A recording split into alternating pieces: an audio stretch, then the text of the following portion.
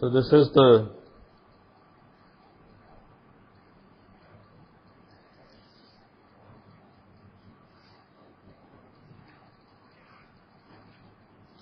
telescopic cascode op amp.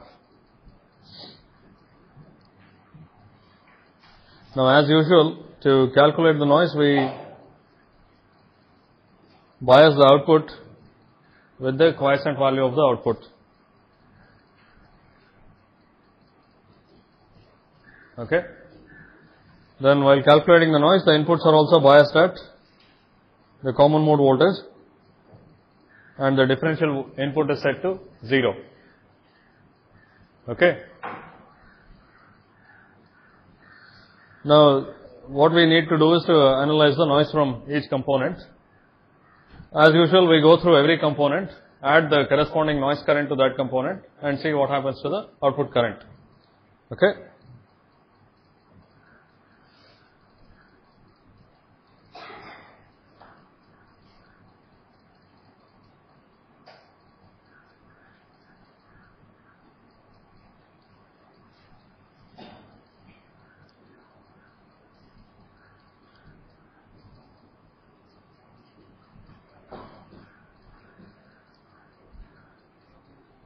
Firstly, let me add a noise current to M0. What will be the output current because of this? It just splits equally into IN0 by 2 on each side and from here it gets mirrored to this side also. Okay. Now this is a common thing that we are by now familiar. The common mode input that is anything connected to the tail current appears in the common mode and will not appear in the final output. Okay. So the contribution of uh, M0 is 0.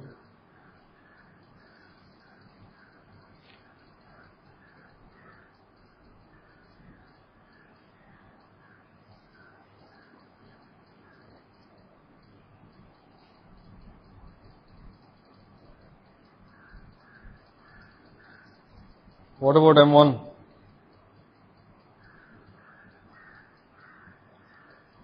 I have a noise current IN1. What happens to this?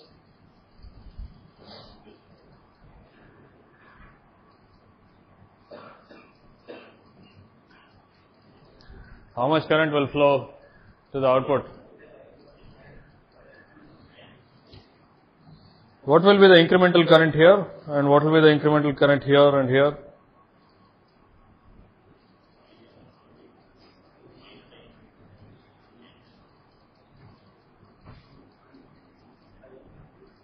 How do we analyze this? We'll do this a couple of times again just to get some practice, but uh, this type of thing should be familiar to you by the end of the course. As usual, we split it up into two pieces. Okay.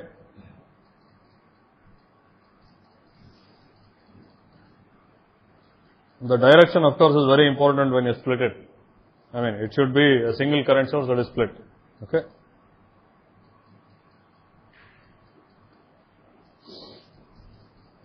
First of all, from our discussion on M0, we should know that this will not contribute anything. Okay, because that is like a current source connected to the tail node of the op amp. Okay, so that argument is alone enough to eliminate that part. But we can also keep that in the analysis and do a complete analysis as well. Okay. So what will be the incremental current flowing here? So first of all, the lower current source, the third, the one that is connected to the tail node will cause IN1 by 2 here and also IN1 by 2 here. It will split equally. Okay. Now, at this node you have IN1 flowing out and IN1 by 2 flowing in. Okay. Is this part clear? Here at this node. So, here we have IN1 by 2 flowing downwards. Okay. And in this point, part we have IN1 by 2 flowing upwards. That goes through the cascode transistor M6. And here we end up with IN1 by 2. So, one thing I forgot to mention is that it's generally safe to neglect GDS when you analyze the circuit for noise. Let's assume that GDS is 0 and go with the analysis. Okay. That will simplify the expressions and the accuracy is not sacrificed too much. Because of the current mirror, we have this IN1 by 2 being mirrored here. Okay. The question is, why is the drain current of M5 IN1 by 2? Because uh, the, there is a current source connected to the tail that causes IN1 by 2 flowing up in each of the transistors. And from this node, the other source is drawing IN1. Okay. So if you apply KCL at this particular node, you will see that it's IN1 by 2.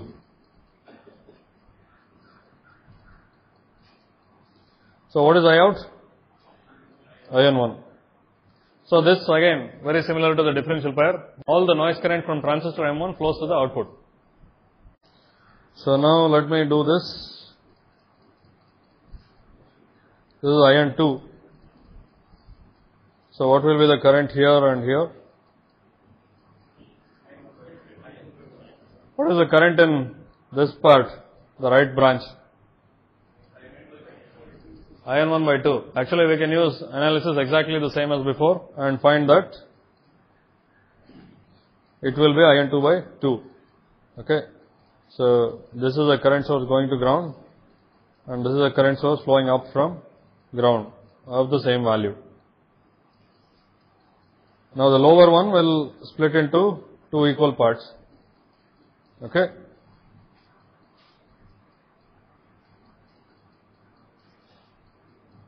and this is drawing a current IN2. So, this will be IN2 by 2 and on this side we will have a current flowing upwards, incremental current flowing upwards of IN2 by 2, okay, which through the mirror will become IN2 by 2. Okay. So, you just keep track of all the currents, especially with GDS reduced to 0, the current mirror is ideal, the cascode is ideal, all of these things are true. Okay. So, you can quickly write down the result. So, what is the current contribution of M2? Minus IN2. Okay. Now, M3. What happens because of this? Where will this IN3 flow? So, will IN3 flow into M3 or into M7 or split somewhere into both of them? So, we can try and solve this. So, the problem we are trying to solve is uh, something like this, okay. This is biased at a fixed voltage and here we have a current source, okay. I am drawing everything with NMOS, okay. Now, what I want to find out is, let us say this is equivalent to M3 and this is M7, okay. Now, I add an incremental current to the source of M7 or the drain of M3, what really happens?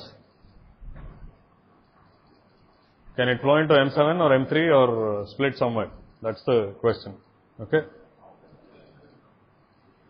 Muthu is very confident that all of it goes into M3. Is everyone convinced of it? Why? What's the reason?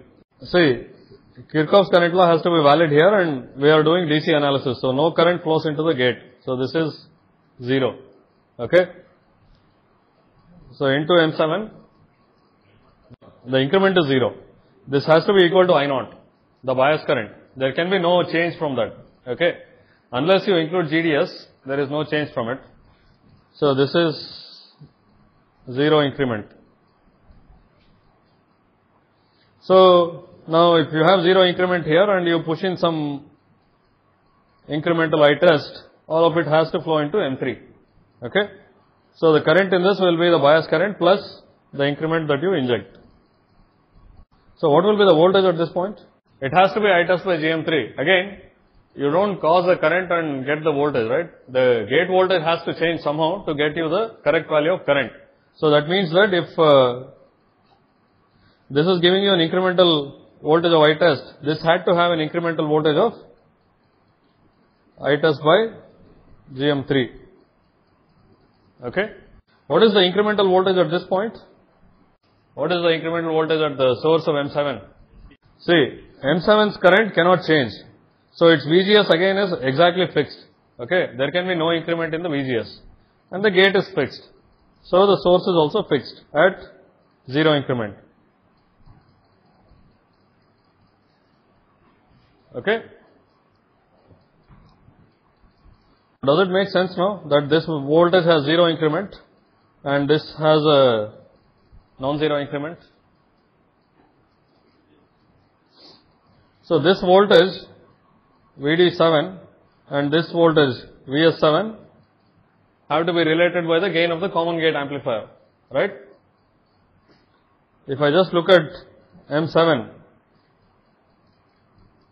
okay, if I have an increment VS7 here, this has to be the gain of the common gate amplifier times VS7.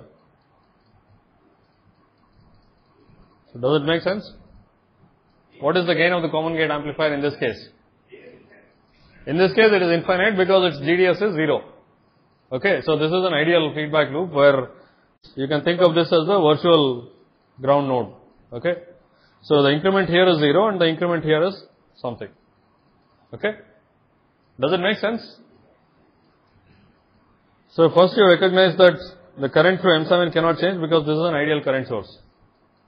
Okay, that means that current cannot change means incremental current is 0. So all of the incremental input has to flow into M3 and the result of that is an incremental voltage at the gate of M3. So now let's say I take this uh, gate voltage and connect it to another identical transistor M4. What will be the incremental current here?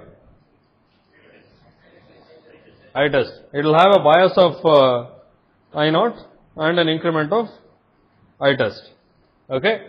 So from this source, which is connected to the drain of M3, to this output, it's also a current mirror. Okay. So what does it mean now for this current? What will be that current? It will be IN3. Okay. With the sign I have taken, it is plus IN3. Okay. It is flowing out of the drain here and it will flow out of the drain there. So assumption of uh, GDS being 0 considerably simplifies the analysis, but it's reasonable also. Even if you include GDS, you will have something like uh, GM by GM plus GDS multiplying this instead of 1. Okay. So the current mirroring will not be exact, but it will be of the form GM divided by GM plus GDS, which is very close to 1 anyway. Okay. This goes through the cascode M8 and goes directly to the output.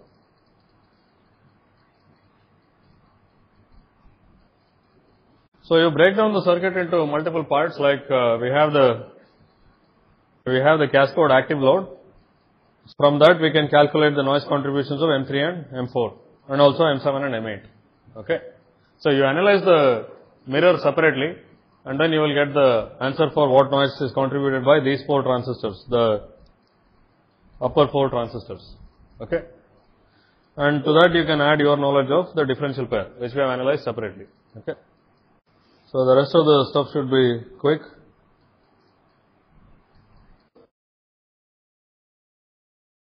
IN4. What's the output noise current because of IN4? Minus IN4. So this is connected to the cascode node of M8. Okay. So it appears directly from the output. Okay. Now looking into M8, you have a conductance of GM, GM8. That's because the drain of M8 is connected to an incremental short circuit. So it's simply like connecting IN4 through a cascode to the output. Okay. So far the results are exactly same as that of the differential pair. M1, M2, M3, M4, all of them contribute their entire noise currents to the output. Okay. Now we can look at the contribution of the extra transistors. Let's look at M8 first because it's relatively simple. What's the contribution of M8? What will be the contribution? What is the noise contribution from the upper transistors in the cascode? Let's say we have a cascode current source which is delivering current to a voltage source. Okay. We have noise from this and the noise from this.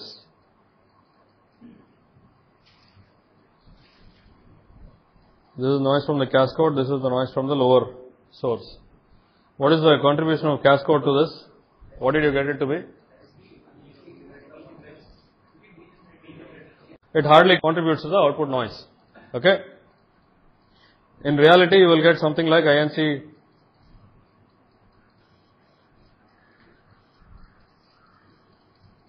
something like this, whereas the lower one will get multiplied by okay. So if GDS is 0, then all of IN0 will flow to the output and none of INC will flow to the output. Okay. We can also analyze it by splitting the source. In fact, we can do it right in the op amp.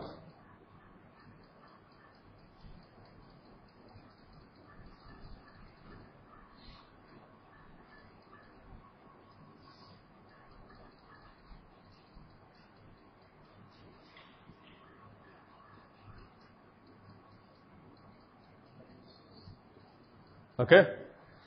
What is the impedance looking up here?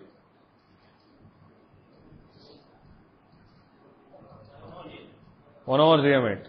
And what is the impedance looking down? It's 2 over GDS2. Okay.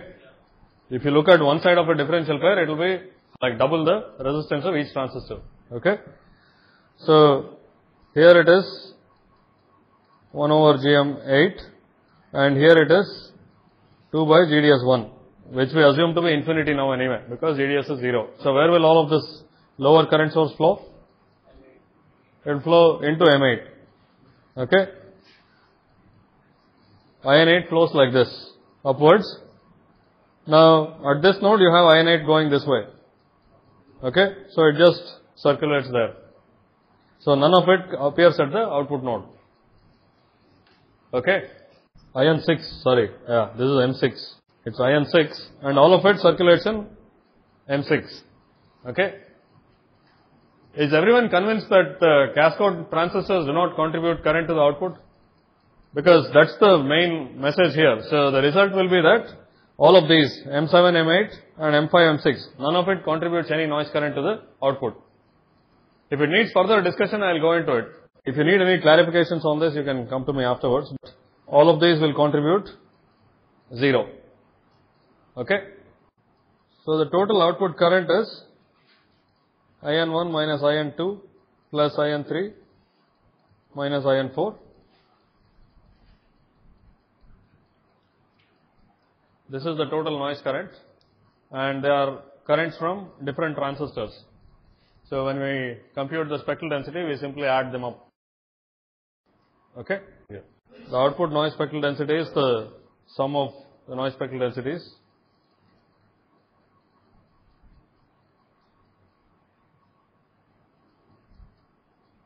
Which is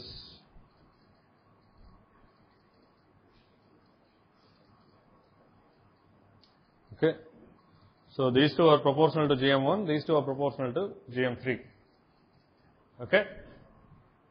What is the input referred noise? So, output noise divided by GM1 squared. Exactly the same answer as with the differential pair. We have this, this is because of the input differential pair and some excess noise because of the load. Okay. Any questions on this? Telescopic cascode, the noise is exactly same as that of the differential pair the contribution from the cascode devices is negligible. This is okay?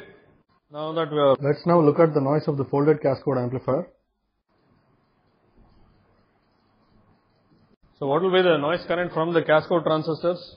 Zero. I mean, it's a cascode source. You can do the analysis again. For instance, M8, I'll have a current source which is split up like this. Okay. Now this flows into M8 and flows back this way. Okay, none of it reaches the output node. Oh, by the way, I have to terminate the output in a in an incremental short circuit. And what is the correct bias value here? What is the bias value that I would want to use for 0? It's VGS3. I mean, here it is the NMOS load, right? So there's no VDD, VGS3. So cascode M8 doesn't contribute any current to the output. So similarly, none of the other cascodes contribute anything to the output. Okay?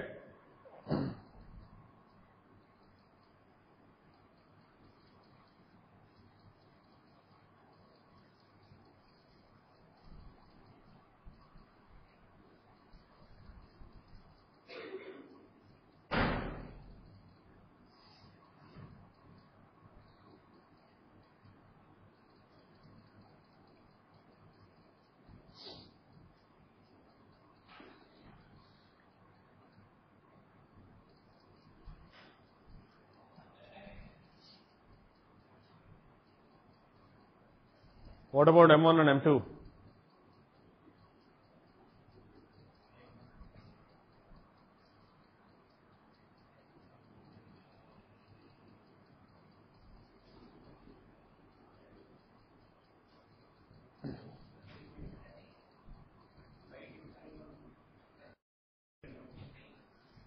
It will be the same. Okay. It has to be. See, for instance, when you do the signal analysis, when you apply an increment here, okay, some increments flow through this. That is GM VD by 2. Okay. Now, if you add a current to this point, it is similar to a current increment in that node. Okay. So, finally, it will flow to the output.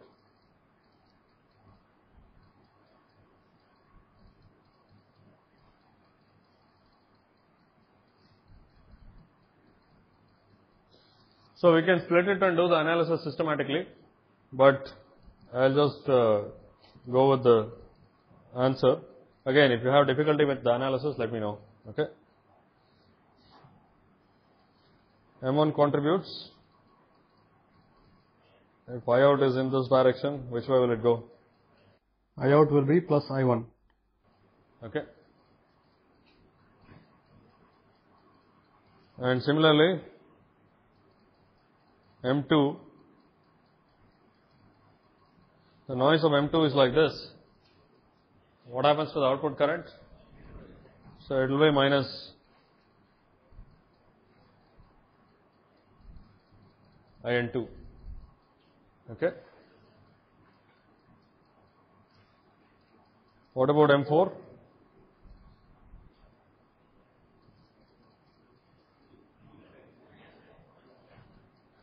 So this flows through the cascode through the output.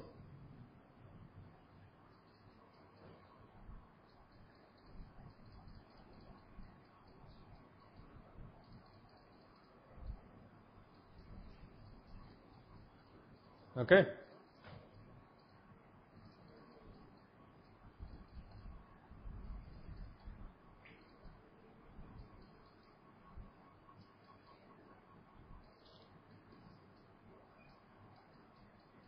And what about IN 3?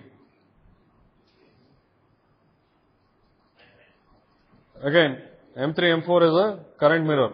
Okay, we just saw that if you inject something into the drain of M3, it will appear on drain of M4 and that goes through the cascode and goes to the output. Okay.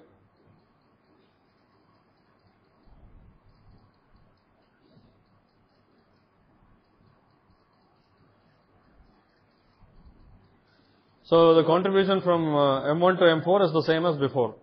Is there anything that that's left to be analyzed? M9 and M10. So we have two extra transistors in the folded cascode. What will they do?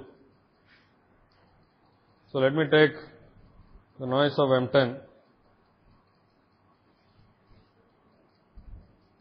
What happens to the noise of M10?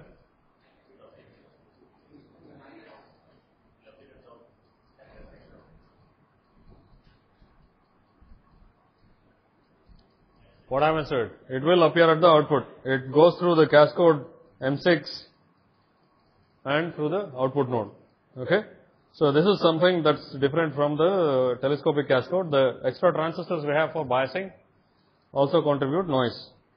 M10 contributes minus I10, And what about M9?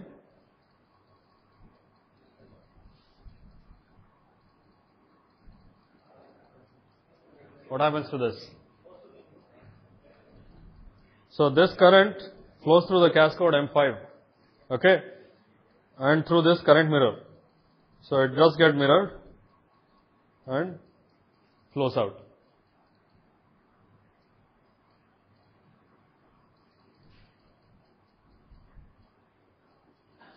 Okay. So M9 and M10 also contribute to the output noise.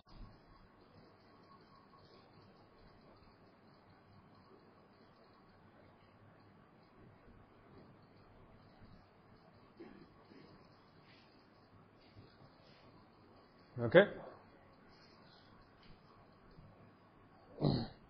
And the spectral density,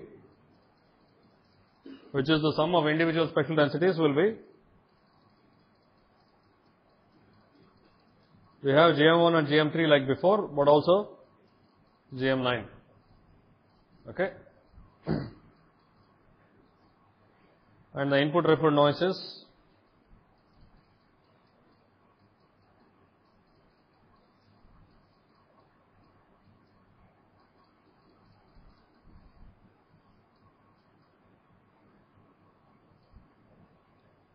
Okay. So, would you expect this to be more noisy than the telescopic cascode? Can you design it to be less noisy for the same application? If you are given the unity gain frequency and the load capacitance, you have to realize a certain GM1. Okay. So, this part will remain the same. So, if you want to design it for less noise, you have to reduce these components, which may or may not be possible. Okay. Now the thing to notice this, you have this extra factor GM9. Okay. And what is the current through M9 and M10?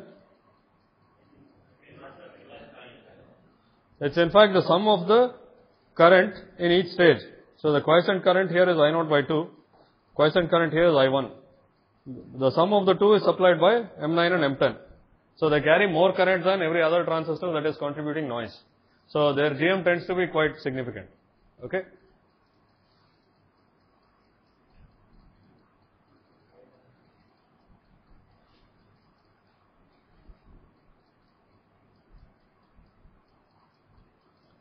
Again, the cascode transistors don't contribute any noise, but the extra uh, current sources we have for biasing of the folded cascode, for folding the current, will contribute noise, and it can be significant. Okay. So that's the summary of the noise in a folded cascode amplifier. Now, mismatch behaves exactly the same as noise. Again, I will not show the whole analysis in class now. If you need any clarifications, you can come to me afterwards. So, mismatch behaves in exactly the same way as noise. Okay. So, I will not analyze it now, but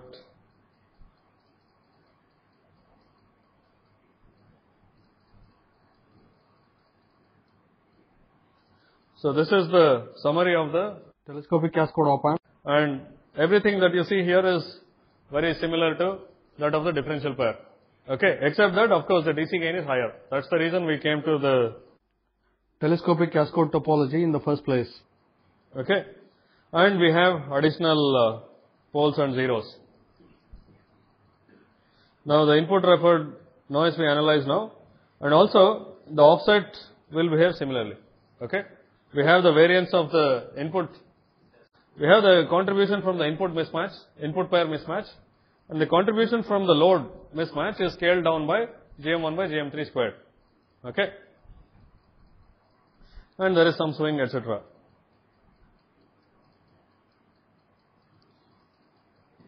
If you look at the folded cascode, we have the extra term gm9 by gm1 and also the mismatch in that appears in the picture as well.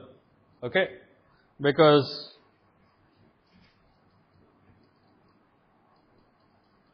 if you have mismatch between these two transistors, that will cause a mismatch current in the output. Okay. So, then you have to apply certain input increment to make the output 0. That is the input referred offset. Okay. So, M9 and M10 contribute both noise and uh, offset. So, usually noise and offset go together. Okay. So, you see here also. So, you see the input pair offset and GM3 by GM1 square times the load offset. This is the current mirror load. Okay. And this is the contribution from the uh, source that is used for folding. Okay.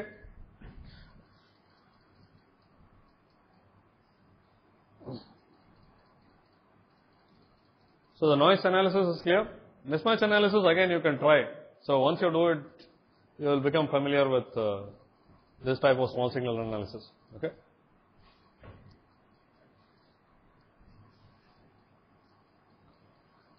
Now, the one thing that was left out was the slew rate.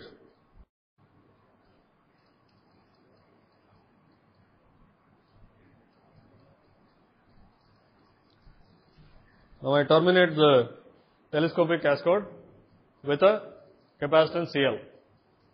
Okay. What I want to find out is the slew rate. Or is there a limitation? If so, why? What is the highest rate of change of output in the positive direction, in the negative direction? Again, the condition is very similar to that of the simple differential pair. You apply a differential voltage and you have it very large in either direction. Okay, first let's say it's very large in this direction. So what happens? This M2 is off. Okay, and all of this current I naught flows this way. And it flows out because of the current mirror through M4 and M8. And it flows into the capacitor. So the positive slew rate is plus I naught by CL.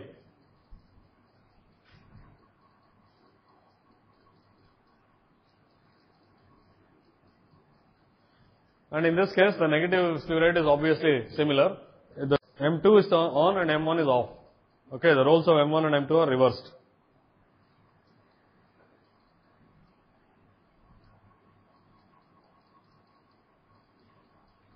So if I apply a large voltage in this direction, then the M1 is off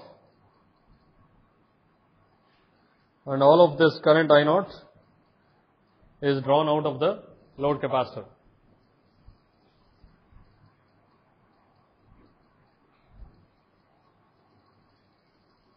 Sorry, you don't usually put signs in front of it.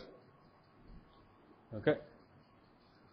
So again, the positive and negative slew rates are the same and they are equal to the tail current divided by CL.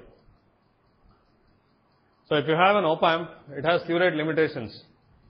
Okay, everything else is fine. You have the right unity gain frequency and all of this, but you find that it is taking too long to settle because of slewing. What will you do?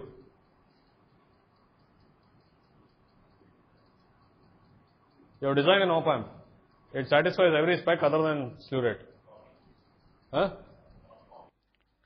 The suggestion was to scale up the width and the bias currents of the op amp.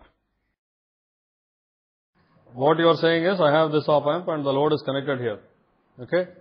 I connect another op amp in parallel. Okay. What is the unity gain frequency of this op amp?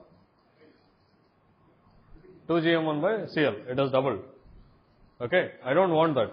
I want to keep the same op amp, every other spec the same, but I want to increase the slew rate. So what will I do?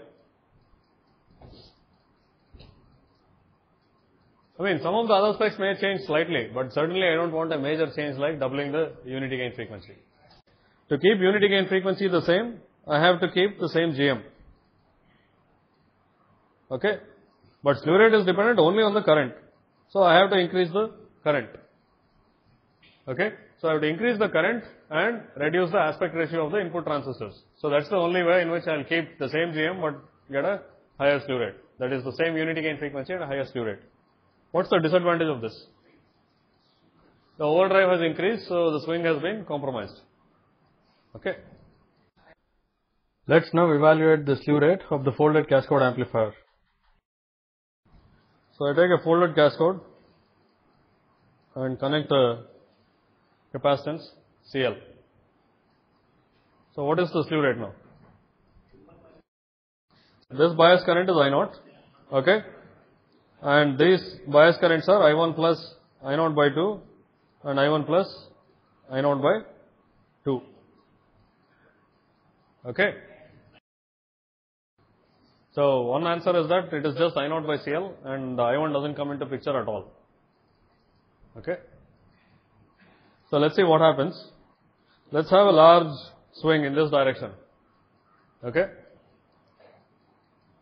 What will be the current here? Huh? I naught. And what is the current here? Zero. So what is the current through M5?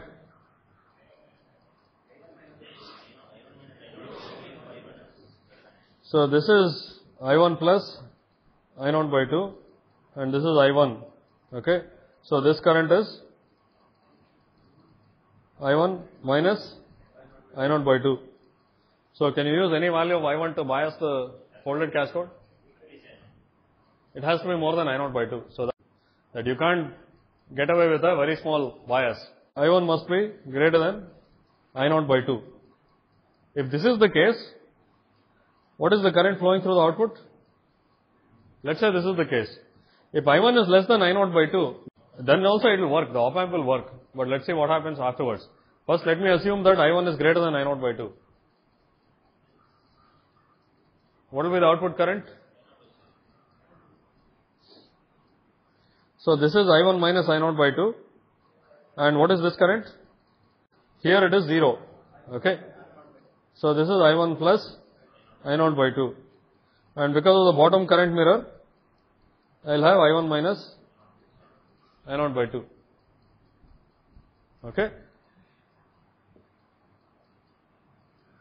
So the total output current is I naught.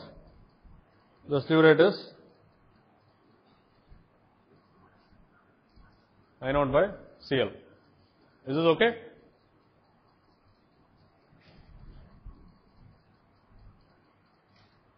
And what happens if uh, the increment is the other way around and large, you will get minus I naught by CL to be the fastest negative rate of change. Okay? What happens if I don't satisfy this?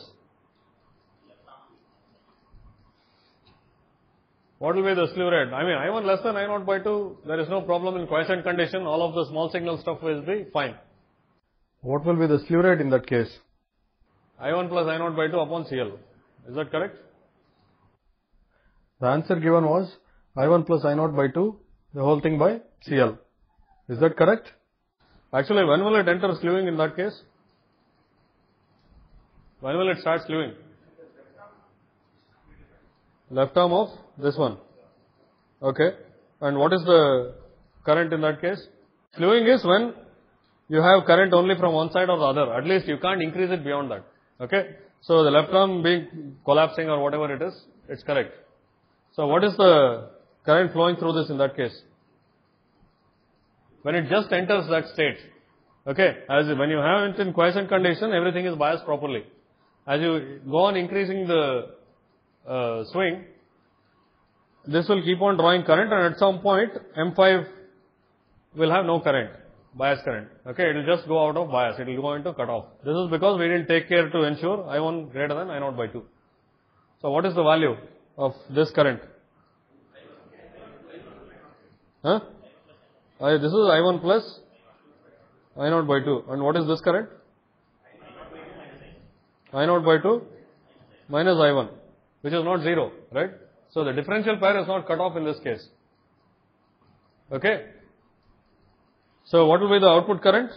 2I1. Okay? So the output current is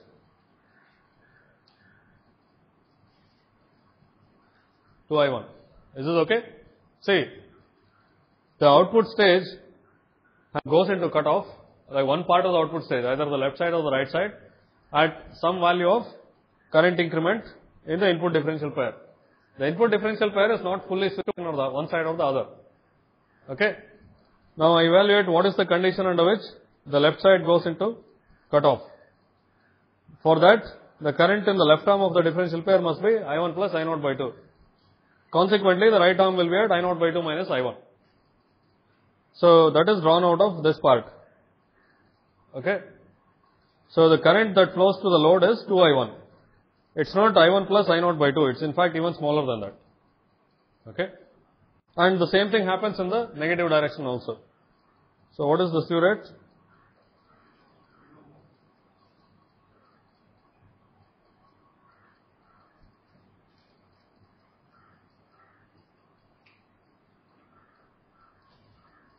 Okay. So it will be limited by the minimum value of I naught and 2I1. What do you have to do so that uh, both stages limit simultaneously? You just make that 2I1 equals I naught. So the bias current flowing in all transistors should be the same. That's uh, generally that's the common point chosen for the folded cascode. Okay. You will make the quiescent current through all four arms. This, this, this and this the same equal to I naught by 2. Okay. And generally there is no reason to make it anything else. You will only get a suboptimal slew rate. The question is, if settling time is not an issue at all, can we get away with using a small I1 and reduce the power consumption? So if uh, settling is not an issue at all, then maybe I'll just choose I1 to be very small. Okay. So there are a couple of things that happen. When I1 is very small, the parasitic capacitances associated with these nodes also move into lower frequencies and the slew rate becomes smaller. But if that's okay with you, then it's fine. Everything is fine. Okay. That's true. If settling time is not an issue, then there is no reason to optimize the slew rate. Okay. The question he asked was, what is an example scenario where you are not interested in settling time? For instance, let's say you have a voltage reference or a voltage regulator and maybe it takes like few milliseconds to start up, but you don't care. That's a, that's the case. Actually, frequently in voltage regulators also settling is an, is an issue. Okay. But we are only interested in DC and it's operating with a fixed load. Okay. The bandwidth of the system relates to how fast it recovers from disturbances as well, right? So let's say it's operating always with a fixed load. So if the load changes, then how fast it settles depends on the bandwidth. Maybe even that is not an issue because it's always with a fixed load. So in that case, perhaps you don't care. Okay.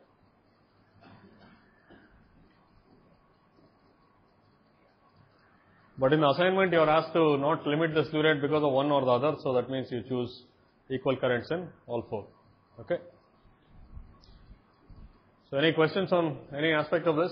The two-stage op-amp we have not discussed, so you can submit it afterwards. The other stuff you can do now. Okay. Now the one thing I had not mentioned explicitly earlier is what happens with body effects? Now frequently and in the assignment also you connect all the NMOS, NMOS body to ground and PMOS to VDD. So what is the main effect because of that? Firstly, the threshold will increase. You will have effects because of that. Also, see we have, in this case, we have the cascode here. So this is the gain of the cascode, GDS5 by GM5. That's the inverse of the gain of the cascode. Instead of GM5, we'll get GM5 plus GMB5. Okay. So for GM5 you get these two and GM7 you get this in all the expressions that we have evaluated so far. Okay. And also the common mode will have an additional factor because when you raise the input common mode, the tail node will not raise by the same amount. It will raise by a smaller amount. Okay.